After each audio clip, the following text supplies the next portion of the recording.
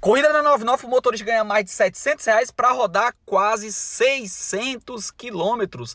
Saindo aqui ó, do Bom Sucesso em Fortaleza, com destino a Teresina, no Piauí. E será que vale a pena o motorista de app fazer essa corrida aqui, galera? Olha aqui, ó, perfil SSA na 99, nota do passageiro 5, 14 corridas e no 99 negocia onde o, passa, onde o motorista, né, tenha a opção de negociar essa corrida aqui com o passageiro.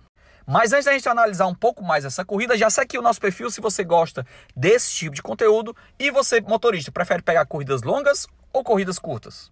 E a 99 colocou aqui as opções, ó, pro motorista de app, ó, fazer essas viagens, galera. 755 reais, tem esse preço aqui mais no meio, né? 791 e também o motorista aqui, ó, tem a opção, ó, de colocar um valor mais alto se ele quiser. Se ele não quiser uma dessas opções, ele pode colocar aqui, ó, uma opção com valor maior para o motorista. Mas será que o passageiro aceitaria o motorista colocar um valor a mais do que aquele que a 99 já está cobrando pela viagem?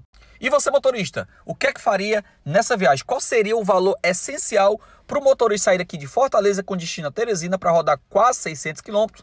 Qual seria aqui o valor bacana para o motorista fazer essa viagem? Lembrando que tem que contabilizar a ida e a volta. Tamo junto, se inscreve, até o próximo vídeo, é nóis, valeu!